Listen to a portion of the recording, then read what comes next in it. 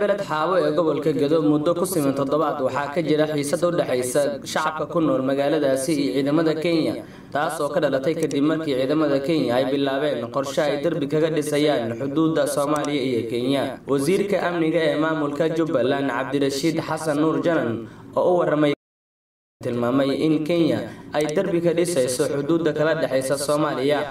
halka derbiga laga dhisayana qayb ka mid ah ay degan yihiin dad shacab ah. Isagoo intaas ku daray in madaxda ugu sarreysa dalka ee madaxweyne farmaajo iyo ra'iisul wasaare khayre looga baahan yahay in arrinkaasi ay kala xaajoodaan dowladda kenya.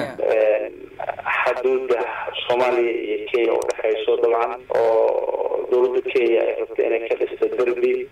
Dhinacna ee shacab soomaaliyeed barnaamijkaasaydaa derbigaas uu ku soo aadahaya meesha ay degan yihiin. Muranaha taagnaa oo loo baahan yahay in ay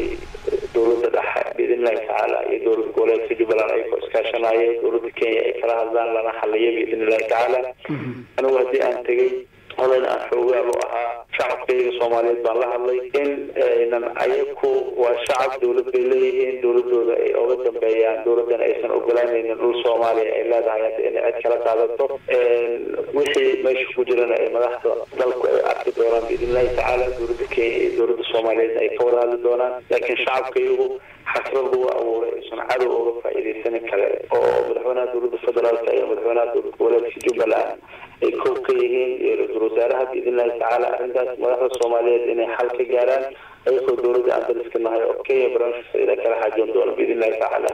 Maalmihii aynu soo dhaafnay waxaa jiray dibadbaxyo watay rabshado oo ka dhacayay magaalada beled xaabo ee gobolka gedo iyadoo la tilmaamayo in ciidamada kenya ay dadka shacabka ah u adeegsadeen awood iyaga oo ku sugan gudaha magaalada